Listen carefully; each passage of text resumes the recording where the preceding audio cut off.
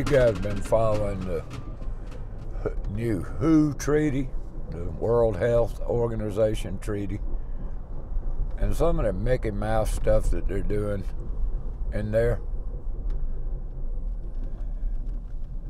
This is uh, another way to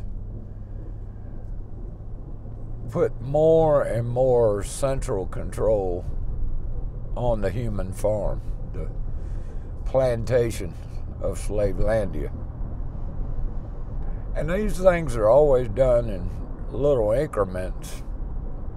And then every now and then you get a great spurt of centralization. And a lot of times, war is when a lot of this comes along, these great changes. After World War One, we had the beginnings of world government with the formation of the and now I forgot the damn thing.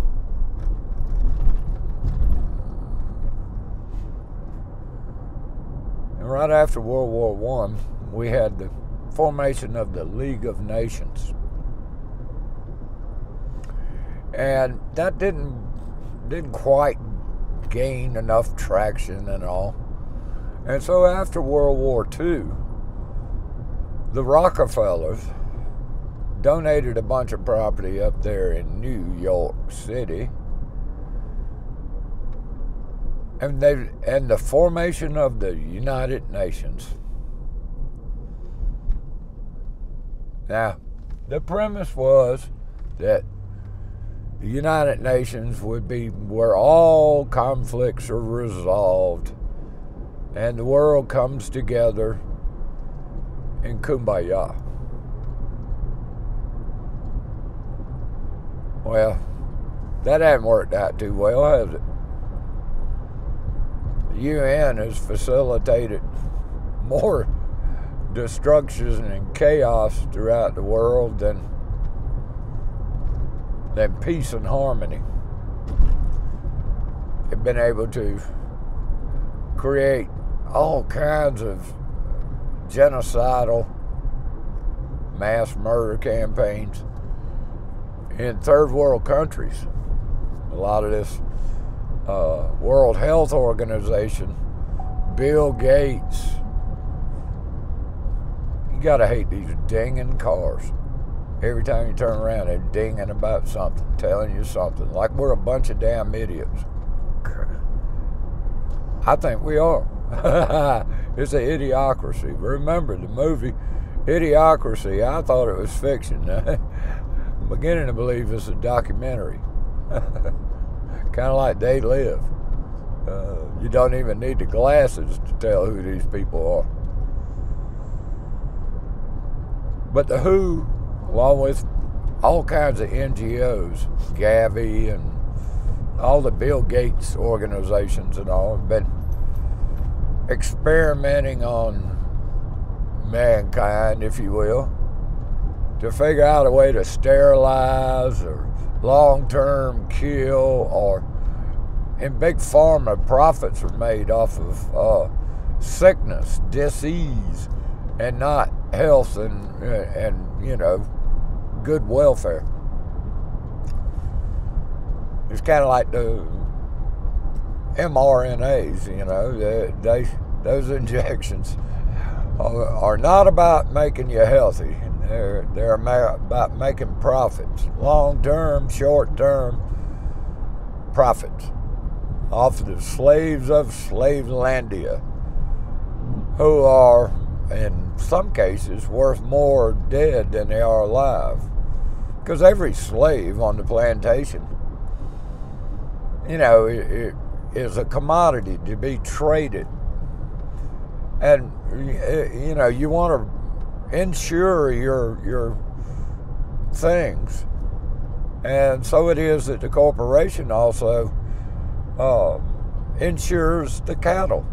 I mean, you know, if, a, if one of the cattle, if one of the uh, chattel dies, he can't produce any more profit for the corporation, and, and, and essentially it's a loss.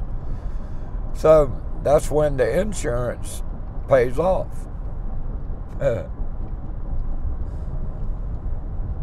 These are things people don't consider because they don't consider themselves animals on the farm. And the pigs run the show. All, uh, all animals are equal, but some more equal than others.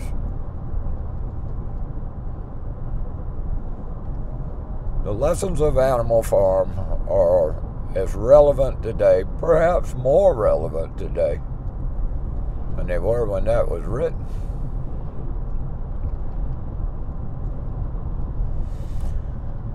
It's amazing to see what has happened. And Carlin was right. George Carlin was right. He was pointing out the truth. And the best comedy, the best comedy is the truth look at Jimmy Dore. Now, Jimmy Dore is leftist as leftist gets. He believes, you know, that you can have free health care for all, and and if if you have good representation, you can have free health care for everybody will be happy. Well, on the other side, the R's, the Republicans, or the right side, they say, you know, oh, it's the welfare system and blah, blah, blah. And if we had good people in there, everything would be good. And we, both sides believe that if they had the right people in there, they can have good government. My position is government is never good. And it's like a fire and if you don't control that fire it'll burn everything around you including you.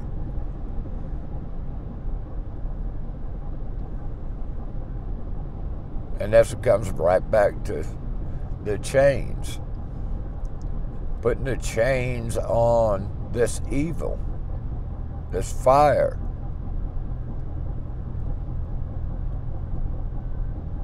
I'm not sure that you can. I'm not, I am not convinced at all that there are enough chains that can be placed on this thing we call government, on a monopoly on violence, to hold it. The founder said you had to be a vigilant, moral people to keep the republic. You know, Benjamin Franklin was quoted when the lady asked him, Mr. Franklin, what have you given us? And he said, A republic, ma'am, if you can keep it. I often add that he probably chuckled. because inevitably, there is no chain that can bind this evil. And so it metastasizes like a cancer, slowly and slowly, and weakens the body. And then the next thing you know, get you got stage four, and it's just running turbo cancer. A new term that we hear all the time now.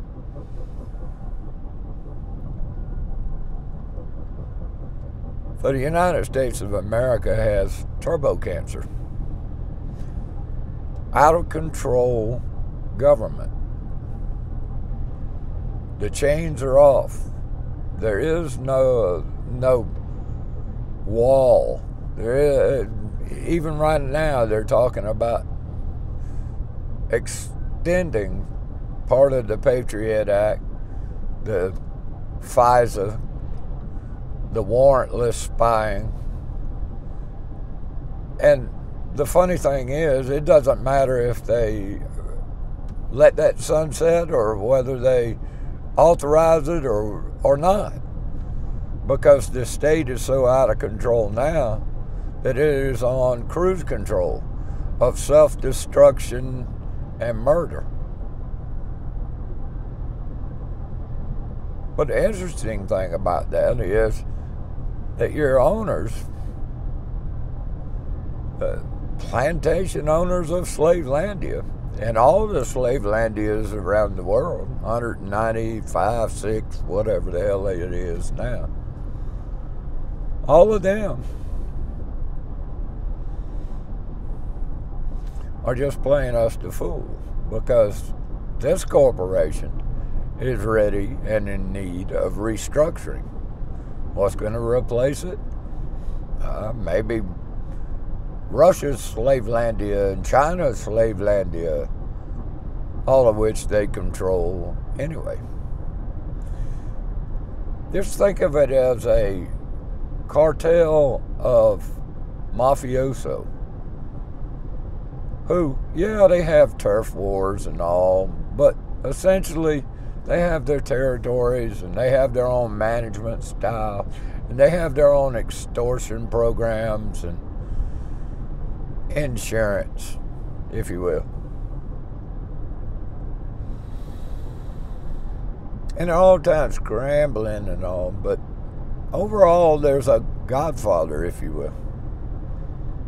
And the godfather is the man that nobody seems to notice and nobody seems to care.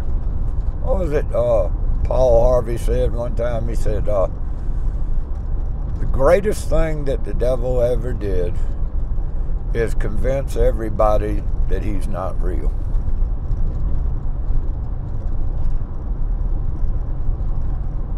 That's it.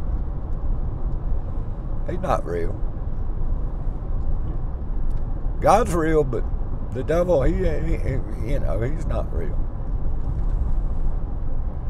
Good and evil, the spiritual battle that we're in.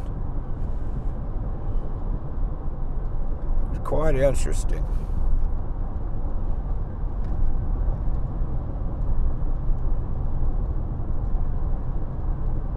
said oftentimes, it's the six inches between your ears that is the where the war is taking place. War is won by inches, not miles. And if you can confine, confuse the owner of those six inches to the point where he, she, they, or them don't know what is and is not truth. Just like a computer, garbage in, garbage out. It's going to reach the conclusion of those who control the information going in and out. That's where we're at.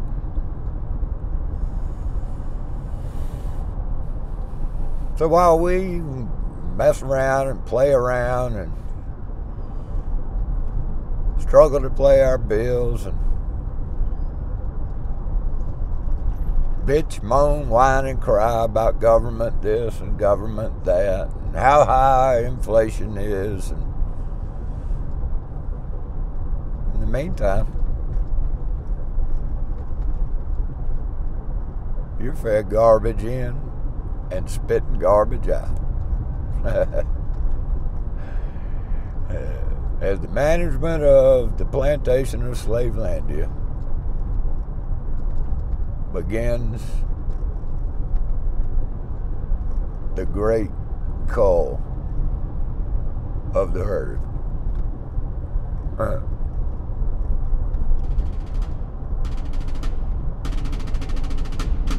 I got to go to work. I'll be back in a minute. We'll see y'all. If a government claims a right, and then their claim is that they derive these rights from the people. Right. Well, how can people give a group rights that they don't themselves have? To steal from So each other. right, if we Yeah. if we can't tax people, like I can't tax you, Yeah. where exactly does government derive this right from? It- it- and once you come to, you realize that the the goal ought to be as voluntary a society as possible. Now, how exactly you achieve that, how far you can push that, is debatable. But certainly that that should be the goal. That if government is providing a service for you, well, then why does it need to be provided by force?